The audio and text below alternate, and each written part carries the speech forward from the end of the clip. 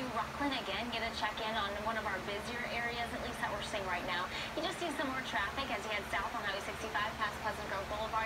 Taking a look at the northbound side, that all looks pretty quiet, so no delays there if you're trying to continue toward Blue Oaks Boulevard or continue all the way toward Wheatland and Lincoln. From there, we head to the broad picture throughout Sacramento. The tough spot that is usually the case through West Sacramento.